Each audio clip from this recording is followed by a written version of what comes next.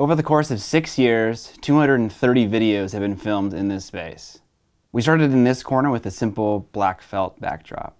Nowadays, this is where we store our shipping supplies and my wife packages a lot of the products and merchandise that we ship out from our house. I also have the PVC frame and lights that I used for the set. Then we moved into this corner, which is now where the TV is, and the only part of the basement currently not dedicated to YouTube.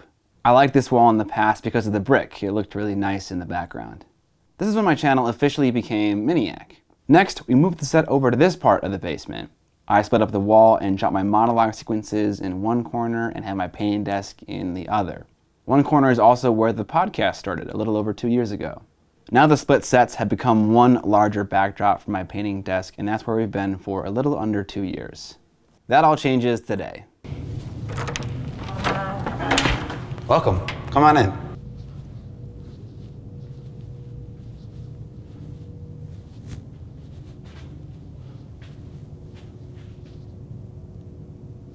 Welcome to the new Miniac office space. After six years of filming videos in the basement of my house, I'm finally moving into an office space dedicated to the YouTube channel. Maybe we could have done this move a little bit earlier, but you know, it's kind of terrifying. Moving into a new space is a little bit mentally straining because I want to make sure that I get it right the first time. I want to have all my ideas about what should work and how it should all be laid out already figured out. So then when we move in and set everything up and make everything pretty and everything official, I don't gotta tear it down and redo it because I'm sick of doing that. I hate moving, I hate redoing things. I wanna get something perfect the first time and then keep it that way forever.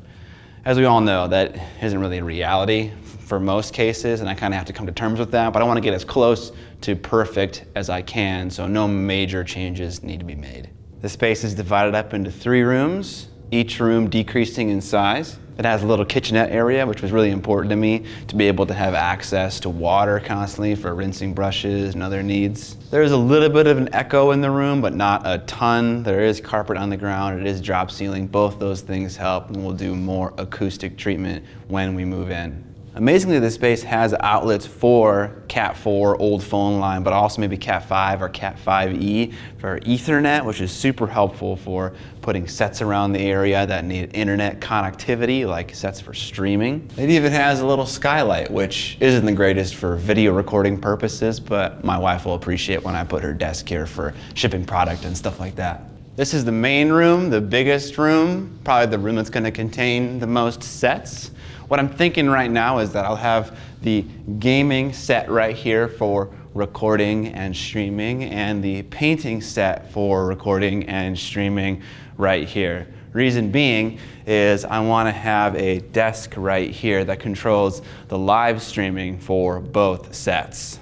The reason why I want the streaming desk next to this pole is because one, this space is kind of unusable because it's like blocked by a pole. So having something right next to it takes advantage of the space much more. But also there's a pole here and there's outlets here. Cables can be hidden either just attached to the outside of the drywall or inside the thing itself and they can loop all the way over and drop down into the sets that they need to be in. It might seem weird to have a desk that is separate from the two for recording and live streaming. You might ask the question, how am I going to be able to control the live streams? Ideally, sometime in the future, depending on how well my Kickstarter campaign goes, I'd like to hire a camera assistant and editing assistant, one person to do both roles. And while we're live streaming, I would love if they could operate the live stream. They could check the levels, they could do the camera switching, they could maybe uh, talk with chat a little bit or answer just very simple questions.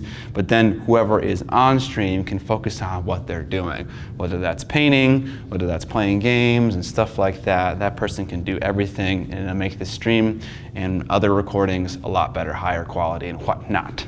I'm gonna have to get used to speaking aloud in a room where potentially other people can hear me, other neighbors. I'm no longer in the safety of my basement. This is the second room, the slightly smaller of the two. This room is significantly quieter, so this is probably where the podcast set is gonna be. Uh, this is probably where the editing is going to be, and also probably a set for shooting miniature photography and videography of completed sets. I'm imagining the podcast is going to be in this corner, and that set is going to be in this corner and then all the computers that are needed for editing and whatnot are gonna be along the window here on this wall. I actually have a carpenter that I'm working with right now who is working on a backdrop for the podcast that looks so freaking cool. It's gonna make the set look way more legit than John and I have any business looking. this is the final third room, and as you can probably tell, the echo is absolutely horrendous. This room has no drop ceiling and concrete floors and is entirely unfinished.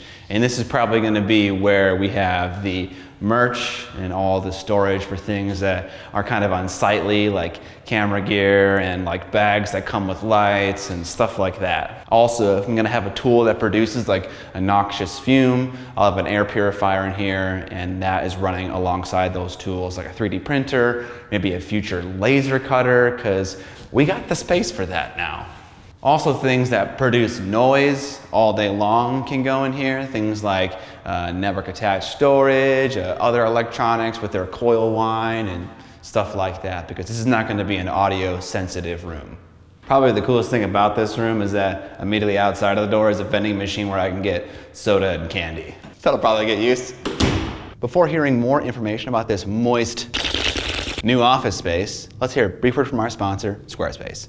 I don't have a personal gallery for my miniature painting art, so when Squarespace reached out to me to sponsor a video, I took this as an opportunity to use their platform to build a dedicated gallery for myself. A gallery like this is useful for a number of reasons. For those who don't know what miniature painting is, I'm looking at you, Aunt Amy. This shows them in a succinct, beautiful way. Importing images and dealing with alignment is made easy and all the while creating a website that just looks awesome. It's important that your gallery show your work while also being functional and beautiful itself. If I need to see a bigger resolution of this miniature so I can see the creamy blends, it's as simple as double clicking. If you want to save some fat stacks on making a miniature art gallery for yourself, head to squarespace.com slash miniac to save 10% off of your first purchase of a website or domain using the code miniac at checkout.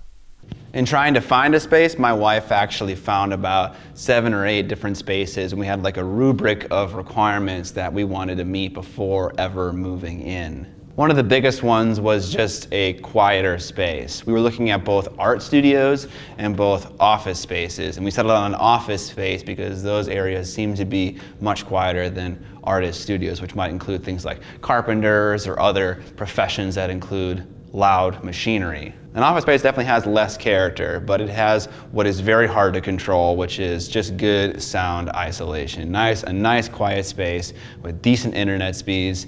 That's what we need as a foundation. We can make it pretty after the fact. Okay, I've seen like eight people walk by that door since I started recording this video, so I am definitely gonna get something to block that because that is going to grief me. So probably the biggest question is, is why did I move into a bigger space? Well, in my current basement, there are about five different productions that I do or would like to do. I record the painting of miniatures, I live stream the painting of miniatures, I record the playing of games, and I'd like to stream the recording of games. I like to have monologue sequences where I speak to you and I have a set for that. I like to shoot B-roll and photos of my finished miniatures. And believe it or not, but at one point, every single one of those things took place in one area of my basement. Now, five out of six of those things take place in the same space, and one has its own dedicated area. Each one of those sets takes an average of one to two and a half hours to set up and tear down individually, so that is a ton of lost time. With all of this new space, I'm gonna be able to have permanent sets that are up all the time with cameras that are always there, dedicated to those locations that never move. That alone is gonna save me hours every single day in doing the kinds of productions that I want to do. Every single set is gonna need some kind of backdrop, some kind of decoration, some kind of set dressing, and I'm super excited to bring you guys along for the ride. And honestly, the reason that I'm making this video is because I've been super rewarded in my email list. I've asked viewers for help and they've supplied their feedback and it's been super rewarding to kind of experience that. So I want to I want to ask you guys. We have this huge space. What do you want to see done in it? Like what what what kind of things do you want to see me do in this space? Let me know. Put it down in the comment section below. I, I am truly looking forward to hearing what you have to say because you guys are a large reason why I have this space, why I've had this progression, this growth um, into something that something like this, something so official.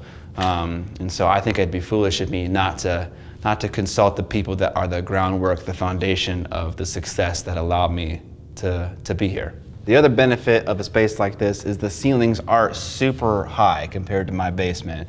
I have fixtures that are quite large because they have large diffusers on them. And because of that, I'm not able to get them in ideal locations. It's challenging to get them through door frames. They're just big and bulky and they don't fit in my normal residential basement. One thing I don't want to do moving into this space is forget about my bread and butter, which is videos. I know you're hearing a lot about podcasts, you're hearing a lot about streams, but rest assured, the thing that matters the most to me is making the sexiest and the best the most well written, the best organized, the most beautiful, the most valuable miniature painting videos on YouTube. There are quite a few YouTubers who have started up other endeavors such as streaming or podcasting like with H3H3 and that kind of became their main thing. But rest assured, I love making videos. I love painting miniatures. Those two together are always going to be something that I love to do, and I'm not going to forget about that. No flame to people that want to do podcasting over making videos or streaming. That's not an issue. I'm just telling you, that's not me. Some of you might be wondering about how I'm going to rig everything up in this space, and you know, honestly, I'm kind of wondering that to myself. In my normal basement, I have this ceiling cage thing with outlets in the ceiling, and it makes it wonderful for keeping all the cables up there. So being inspired by that, I also asked a contractor to put outlets in the ceiling of this space, and we'll try to rig as much as we can to the ceiling and run as much as we can through the drop ceiling to minimize cable clutter. In terms of when you're going to see videos in the new space, it's a little bit hard to know. We're going to do kind of a slow transition over there because this space is still being actively used to make videos. We'll move things over there like the merchandise or video stuff that I currently don't use, but for now, you'll probably see the next two, three, or four videos in this space, and then we'll fully move over to that new office. Some downsides in the new space is that I'm gonna have all the things that I use for my hobby not in my house. So when I want to go to a gaming night for a Song of Ice and Fire, for instance, I'm going to have to go to my office space first and then go to the game store. So there's a couple of things like that that I'm, I know are going to be a little bit annoying. Other downsides are is that it's not free. it's not my house that I pay a mortgage for already. It requires rent. While there won't be random dog barks in the background and takes that are messed up by people slamming doors, Maybe I can't scream as much as I want to because it's an office space and there are neighbors that I have to be considerate of, but we'll cross that bridge when I uh, make some banshee-like sound and someone knocks on our door. I am so excited for this evolution in the Miniac channel.